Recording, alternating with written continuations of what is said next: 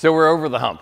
Finally, after five weeks, we've been kind of unpacking this series called Weeds in My Garden, and it's blown me away. I mean, I shared last week some of the things that have been really positive and valuable for us going into this series. I mean, certainly the attendance, certainly the number of stories, the people saying how proud they are of us as a church for making it okay to not be okay, all those great things that have happened.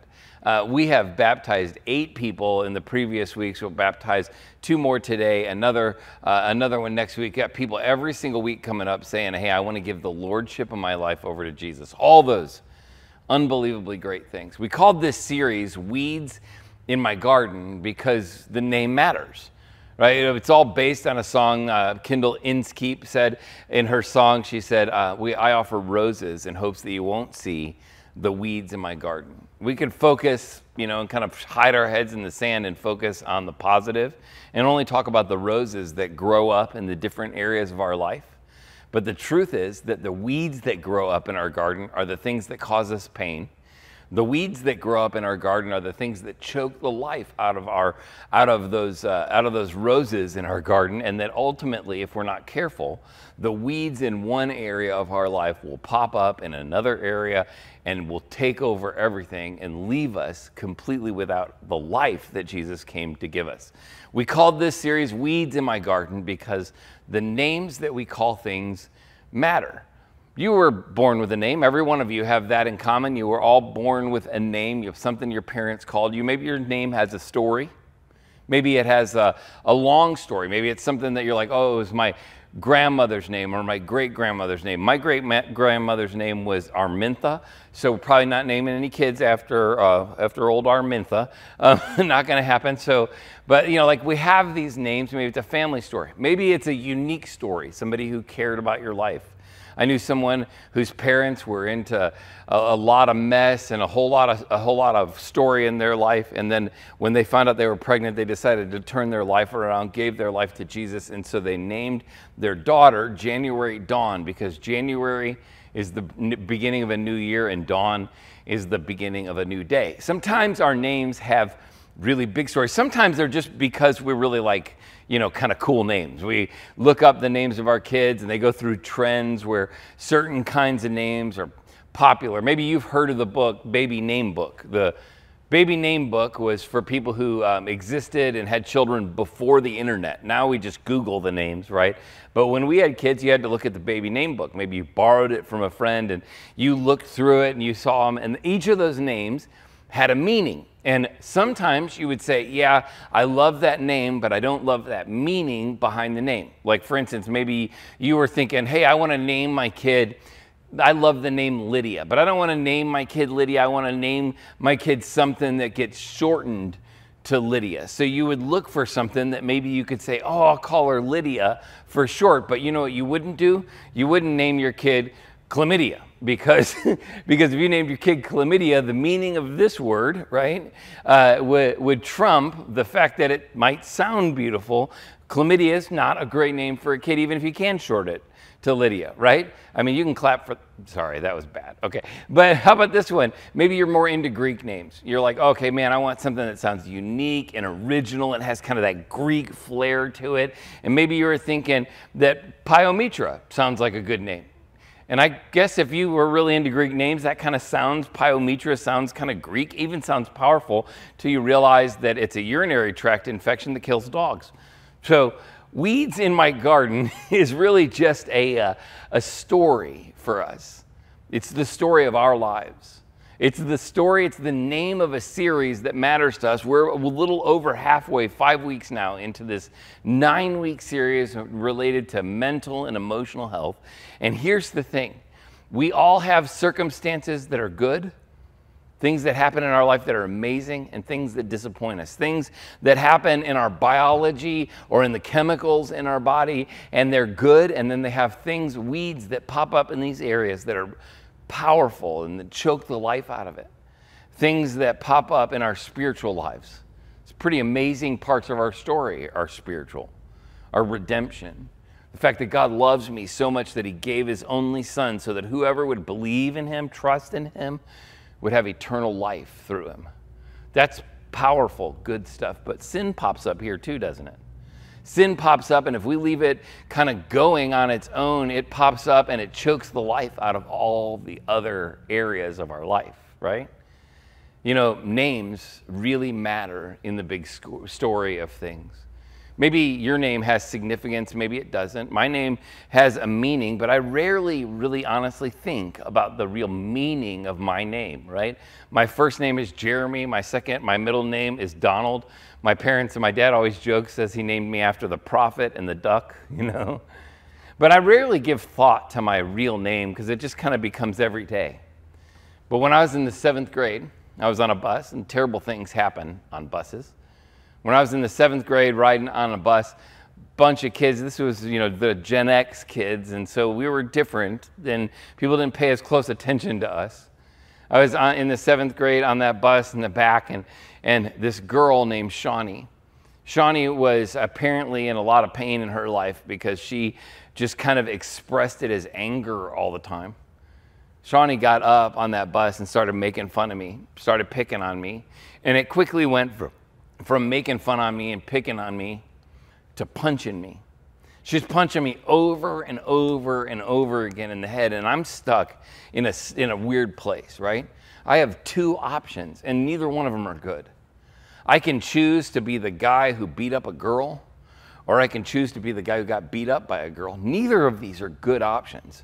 So I just took it, right? And she finally got her fill, I guess, of making fun of me. And she stood back and took a step back. And I can remember this moment the look on her face, the laughter of everybody in the, in the bus when she said, You are such a goober. Now, I, I listened to that as a 50 year old looking back at my 12 year old self and go, Seriously? That's all she could come up with?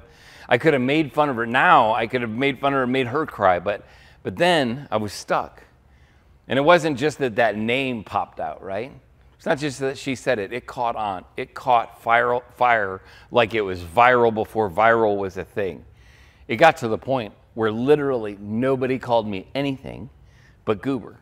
And I lived in that name. It just kind of lorded over me and it was it was huge. So much so that people met me years later and go, "Hey, what's your real name? I've only known you as Goober."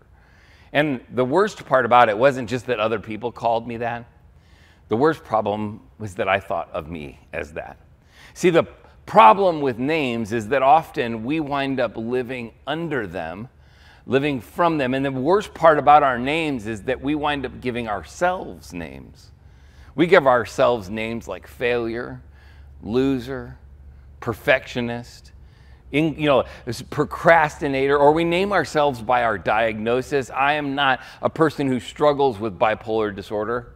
We say, hey, I'm bipolar. We don't say, hey, I'm a person who struggles with, with addiction. We say, hey, I'm an addict. We don't say, hey, I'm a person who struggles with depression. I'm depressed. You see, what happens is that the worst part of it isn't the names we get called, it's the names we call ourselves. And here's the thing that we have to understand is that there is no better document in the world to consult or talk about the names that we call ourselves and the dangers of living under any other name other than the name that God gives us. There's no better document in the world to consult than the Bible. The Bible has a lot to say about people's names. In fact, their names in Bible culture and times were much more important to them than they are to us today. We just go by Jeremy and don't even really think about it. The meaning of their names were very specific and very real. I think of the story of Naomi. You'll find Naomi's story in the book of Ruth. Naomi's story is pretty, um, pretty amazing because Naomi went through some stuff. She went through some really difficult circumstances in her life, and they led her to a pretty dark clinical place. Like they went through some really tough things. Naomi, her name means my sweetness. It's usually in Hebrew, it would be the words that you'd say, my sweetness. You can read her story in the book of Ruth in the Old Testament. It's just a few chapters long, take you about 30 minutes to read it. And it's a powerful story. Her name, when she was born, is the words my sweetness. It's how you would say sweetie in their language. And she operated under that. She got married had two sons, but then, through no fault of her own, just circumstances, reality of life, right? A famine struck the land. She didn't do anything to cause it. Famine stri- strikes the land, and there's all kinds of uncertainty. You know how the trauma of uncertainty has affected you. It was like that for her times a million. She had uncertainty of even being able to live.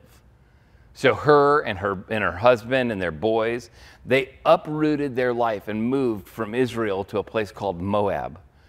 A place called Moab that was away from their people who worshiped the way they worshiped, moved into a place where they worshiped idols. A godless place. That was traumatic for her. She moves there and her husband her boys marry women and they begin their family and kind of kind of begin to expand things a little bit. But then her husband dies deeply traumatic. Again, circumstances that she had nothing to do with. And they just caused fractures in her life. The, the uncertainty of food, the moving from who she was comfortable with, the death of her husband, and then no longer, not, not long, much long after her husband passes, both of her boys, not one, but both of her sons pass. One more impact after another. Maybe you've been there one impact after another. And it leaves these cracks, these fissures and fractures in our life. She went through that over and over again. Her name, My Sweetness. She decided, man, I don't want to. I don't want to be known as my sweetness anymore. I don't want to be called Naomi. She says, I want you to call me Mara, which doesn't mean my sweetness, it means my bitterness. She moved the circumstances, the fractures, the problems, the fissures in her life kind of circumstantially reached over and became a clinical thing for her. She said, I want to be given over to my bitterness. In fact, she asked her two daughters in law, she said, Look, don't call me Naomi anymore. Call me Mara. I don't want to be my sweetness. I want to be my bitterness. And I want you to leave me to my bitterness and just go on and restart your life. But one of her daughters in law, Ruth, said that she wasn't going to have it. She wasn't going to do that. She was instead going to stick by her. And that's what the whole story of the book of Ruth is, is this powerful story of redemption for this woman named Mara, who has wanted to be given over to her bitterness. You know, the most important thing I want you to get today is that if you're living in bitterness, which leads to self loathing, which is exactly where she was, right? This low self esteem, low self value, low self worth, self harm, those places are all the results of the bitterness that happens in our life when the fissures break and they take root. But God doesn't want not one single one of us, He doesn't want any of us to live in bitterness. The bitterness that we kind of adopt because of either the circumstances in our life, the biology, maybe even the neurology, the clinical things in our life, or the sin. God doesn't want us to live stuck in any of that stuff. In fact, that's why He said He came to set us free from the captivity, to bind up our broken hearts and set us free. The writer of Hebrews says it this way He says, Look after each other so that not one of you, none of you, falls or fails to receive the grace of God. Watch out so that no poisonous, look at this word, root of bitterness grows up to trouble you, corrupting many. Watch out together. God gave you and I each other. God gave us us so that we could watch out for each other, make sure that nobody falls down and fails to receive God's grace. It's never God's desire for us to live in bitterness. God wants more for your life than to live in a place where you redefine you. See, the most dangerous thing wasn't the names that people called Naomi, it was the name that Naomi called Naomi. She called herself my bitterness. Maybe you've called yourself a failure. Maybe you've called yourself a perfectionist in a negative way. Maybe you've called yourself a procrastinator. Or maybe you refer to yourself as an addict, or I am bipolar, or I am depressed. Those identities that we adopt corrupt and kill our character and our hearts. And God wants more for your life than you can give yourself, than you can be given when you live under those names. Thinking of another person in Scripture. Now he's kind of an obscure character. He's not kind of a, he's not like a, a, a premier character of the Bible. Uh, his name when he was born was Meribbaal. Meribbaal. Now, if you see his name, you might call it Meribbaal. Um, that is kind of the, the kind of the maybe normal pronunciation, and maybe you'd recognize part of that. Maybe you re- recognize the word Baal. The word Baal is uh, an idol in this culture. In this culture, Baal was an idol, a false god. And then he had prophets of Baal, and he had all these things. And Baal shows up a number of times in Scripture. It's technically it's pronounced Baal, and Meribbaal is not a boy who is named after a god, right? He wasn't named after an idol or a false god. In fact, Meribbaal's parents believed something amazing about his life. They looked at him and said, He's not Baal. He's Meribbaal, one who will stand up and oppose Baal. Right? That's huge that mom and dad looked at this young man and saw him and said, Meribbaal, he will stand up and oppose. He will herald the claims of the one true God, and people will find and follow God, worship him because of our son. They had a vision for his life, Meribbaal. Now, you probably have never heard of Meribbaal. Maybe you've heard him by his other name that he gets changed to later on in life. His name is Mephibosheth. I'm guessing probably haven't heard a lot of Mephibosheth either, because he's not a very like prominent character. He's kind of obscure. But I think the obscurity of his life is kind of the thing that we can learn the most about when we deal with self, uh, our self-esteem or self-loathing or self-hatred or self-harm. Maybe the obscurity of, of Mephibosheth's name and his story is what we can learn the most about. You see, Mephibosheth was a nobody. But his dad was somebody special. His dad was Jonathan. His dad, Jonathan, was a, was a big deal. In fact, he was the son, Jonathan was the son of King Saul. King Saul, Jonathan, the prince, and then Meribbaal, the son of Jonathan, whose parents saw great things in him. It was kind of a really cool story. Jonathan was best friends with David, who would ultimately become the king of Israel. This is the King Jonathan, or, or Jonathan and King David and King Saul were all significant characters in the story of Scripture. In fact, in the Israelite people. But Meribbaal, he's a tiny little player. He was insecure and insignificant. Didn't matter at all about his life. He was a young man whose parents believed a lot in him. But then, through circumstances like Naomi's that were none of his own fault, he experienced some trauma and some pain that just over and over riddled him. His grandfather, Saul, he, he walked away from God consistently. He kept doing, rebelling against God, so much so that God eventually came to, to Saul and said, Look, um, you, if you want to do things on your own, that's fine, but I'm taking the throne away from you. You can do things on your own. And then eventually he kept rebelling and kept rebelling and kept rebelling. And then God came to him and said, Saul, if you want to keep doing things on your own, you can, but you're no longer under my protection. You, you can choose to leave the protection uh, that I provide. And you have done that. You're doing that. And he, re- he rebelled. In fact, God told him, don't go into this battle. He went into that battle anyways. And because he had a faithful and, and con- consistent son in Jonathan, Jonathan followed him into battle. The battle that he wasn't supposed to be in. It was no fault of Meribbaals. He had no fault in it at all. He was just a little boy, five years old, honestly. He's five years old when his grandpa and his dad go out into this battle they weren't supposed to be in.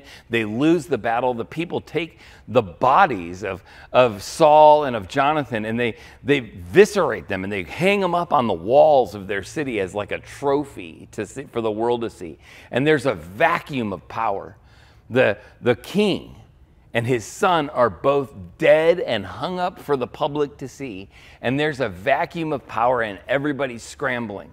And Meribbaal is at home with a nurse who's taking care of him. And she's trying, she's worried that somebody's going to hurt him. And so she gathers him up quickly and runs with this little five year old boy. The circumstances are piling in on him, right? She runs with this five year old boy and trips and falls and breaks both of his feet and both of his feet aren't able to be set correctly because of the unrest that he experienced. So he walks for the rest of his life with a limp. He was born into, into privilege. He was born to live at the palace. He was born to live in, in, the, in the royal family. He was born to live in the succession of kinghood. He was born to be king one day, but instead, the circumstances of life took everything from him before he even knew he had it. Man, the circumstances of life are brutal. Whether you, whether you run into life or life runs into you, man, it leaves a mark. And it did on Meribbaal. So much so that it changed not just his circumstance and his stances in life, it changed how he felt about himself. So time goes on, and David, the best friend of Jonathan, grieves Saul. He grieves the passing of his friend Jonathan. In fact, he says this in 2 Samuel chapter 9, verse 1. He says, Is there anyone still left of the house of Saul to whom I can show kindness for Jonathan's sake? He's like, Jonathan was my best friend and I miss him dearly. Is there any, does he have any descendants left? They kind of pass that around and kind of get somebody, and then he finally gets to this man, this man, and he says, Listen, he, the king asked, uh, Is there anyone alive from the house of Saul to whom which I can show kindness? Ziba answered, There is still a son of Jonathan. He is lame in both feet. That's weird to say, right? Now you know. This is Meribbaal. He's lame. He's, he's hitting both. He, he has a funny limp because they couldn't set his legs right. A few verses later, they say, he, David's like, hey, go get him. Bring him to me. I want to see him. And so he brings him. And by this time, he doesn't want to be known anymore as the man who opposes Baal. He doesn't want to be known as Meribbaal, the one who stands up against, the one who heralds the claim of the king, the one who causes people to lead and to worship the one true God. Instead, he changes his name to Mephibosheth. And when, when Mephibosheth, Mephibosheth, hard to say, son of Jonathan, the son of Saul, came to David, he bowed down to pay him honor. And David said, Mephibosheth, at your service, he replied. And then David says this to him Don't be afraid, David said to him. He had reason to be afraid, right? I mean, as the grandson of King Saul who died, and the son of David who died, it would be at least a little bit worrisome to David, maybe, that Mephibosheth, that Meribbaal wanted the throne. And he's like, Listen, don't be afraid, for I will surely show you kindness for the sake of your father Jonathan. I will restore to you all the land that belonged to your grandfather Saul, and you will always eat at my table.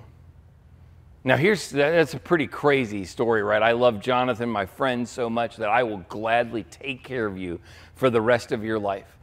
Look at his response. Mephibosheth bowed down and said, What is your servant that you should notice a dead dog like me? A dead dog like me. Meribbaal, born into prosperity. Meribbaal, born into privilege, born into royalty, born into stuff. He was born into power, born into everything that matters. And it was all taken from him before he was even able to recognize what its value was circumstances hit him hard. And it caused him to get to this place where I don't think this is hyperbole. I don't think this is exaggeration. I think he really feels like a dead dog. So much so that he doesn't want to be known as the, the one who opposes Baal. He wants to be known as Mephibosheth. He wants to be known as the dead dog that he feels like. Have you ever been there? You ever been there where you're like, man, I don't know if you ran into life or life ran into you, but man, sometimes just circumstances are so overwhelming that it's not just the circumstances anymore. And it's not just that you want to be left to your bitterness, it's that low self esteem creeps in. This bitterness takes that deep root in your life, winds up being self loathing, low self esteem, eventually self loathing, self hatred, self harm we get to a place in our life where those that bitter root that, that, that, the writer of hebrews said don't do uh, like watch out for each other and make sure this doesn't ever grow up is kind of gives root to it. Man the problem with self-esteem is that it's rooted in self isn't it? I mean the problem with our self-esteem low or high is that it all begins with self. Now, listen, if you have struggle with low self esteem, I'm not saying that you should just not care about that struggle. If you're struggling through low self esteem, low self value, that, that's a difficult and real place to live. But can we just be honest with it? We have to understand that if I'm only going to pursue self esteem, that it's really only rooted in self. See, the word esteem means respect or value. To have self respect or self value isn't really going to fix the need. What we really want is to be esteemed and valued and cared for by others. And here's the thing that's the struggle often is that we don't always think that other people will ever esteem or value us. And when we think that other people won't esteem or value us, we begin to have low self esteem or value. Same thing happened with Meribbaal. He's like, listen, nobody's going to look up to me. Now my grandfather, my dad are dead. My royalties removed. My powers removed. All of my, my privileges removed. All the, all the things that everybody wants are removed. Nobody cares about me. I might as well be like a dead dog. Nobody will ever esteem or value me, so I don't esteem or value myself. The problem with self esteem is that it's rooted in self. I'm not saying that you shouldn't care for yourself. Because if you go to a counselor, they're going to give you really good advice, aren't they? They're going to say things to you like, man, you should try some positive self talk. You should speak kindly to yourself. Good advice, right? You should keep a gratitude journal. Man, good advice.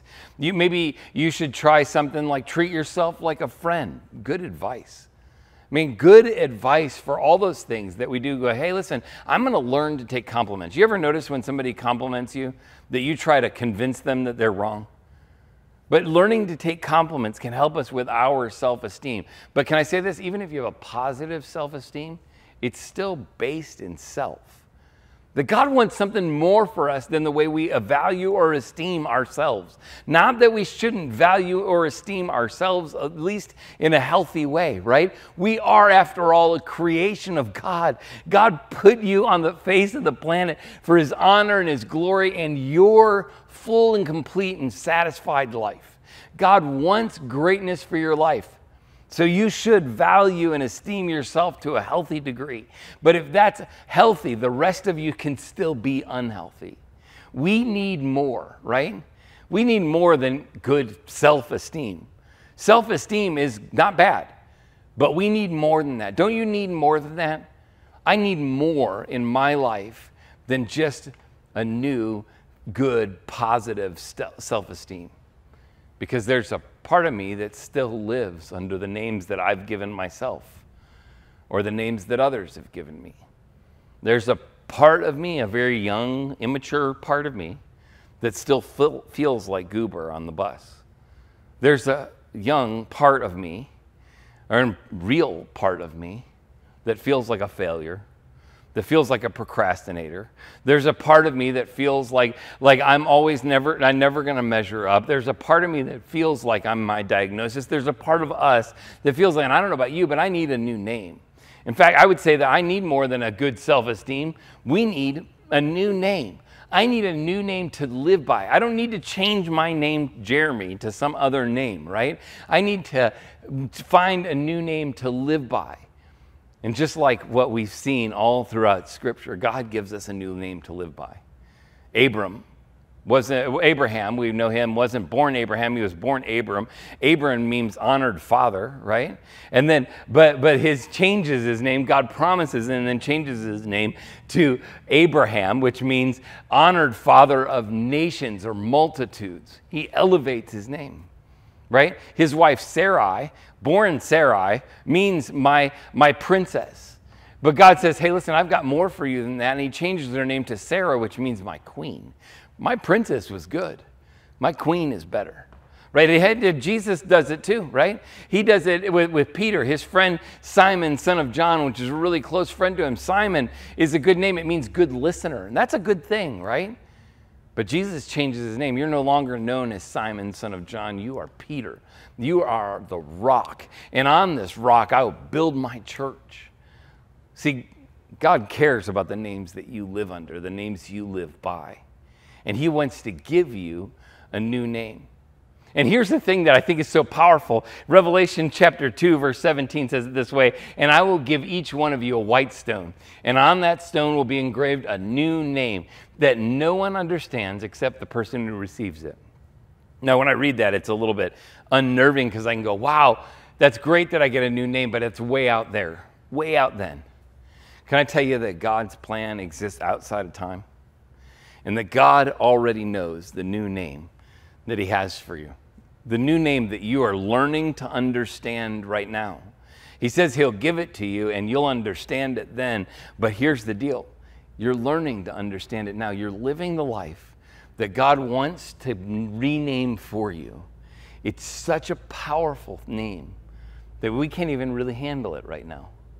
But God has a new name for you to live under. And that new name isn't just a brand, right? It's not just, hey, we'll call you something different and kind of recognize all the same things about you. He says it's more than just a new name, it, you are a new creation. Paul says it this way He says, This means that any one of you who belongs to Christ, any one of us who's in a real, intimate, God, you have my life sort of relationship with Jesus we become a new creation. The old is gone, the new life has begun. You know what's so important about this? that's exactly the picture that baptism is. That baptism is not a special event. Baptism does not save you. The grace of God is what saves you, but baptism represents for us this moment when we when we bury the old you. Look what it says. The old life is gone. That part of you, if you are in Jesus, that part of you is already dead. If you are, if that person is dead, it's just waiting for you to bury it and for you to resurrect a new life. Jesus, God doesn't want to just give you a new name. He wants to make you a new creation. So let me just invite you to this. Every single week at the close of these, we're just being asking people if you're in a place now where you're like, look, I want to give the lordship of my life over to Jesus. I want to give my circumstances. I want to give my biology. I want to give the chemicals and, and the neurology and the clinical and spiritual parts of my life over to God. If you're in that place, then can I just ask you to do this? If you're here with us in the room, I would love to meet you right over here, right after this service. I'll be right here by this baptistry. I'd love for you uh, to come over and I'd love to shake your hand and get to know you. And I would love to help you take your next step toward Jesus. You can meet me over there. If you're not wanting to swim upstream and, and make it up to the front of the room, or maybe you're joining us online, you can go to ourjourney.news, and on the bottom corner, you'll see a right, a little orange circle that says next steps. Just click that and just say, I want to follow Jesus today. I just want to follow Jesus today. I don't know what all the yesterdays have looked like in your life. I don't know if it's a whole bunch of regret or maybe it's a whole bunch of spiritual story. But I want to follow Jesus today just means I want to move forward and take my next step. And when you fill that little form out, it's going to give me a little bit of information, and I'll call you this week, and I will help you figure out the very best next step for you to take because I want you to have a new name. I want you to be a new creation because that's what God wants for your life.